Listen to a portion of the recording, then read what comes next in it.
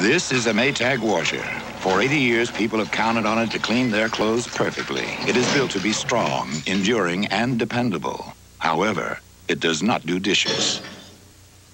This is a Maytag dishwasher. Think of it as a Maytag washer that does do dishes. After all, you don't spend 80 years building washers that last longer and need fewer repairs without learning something. They did it to me again. The dishwasher from Maytag. The dependability people.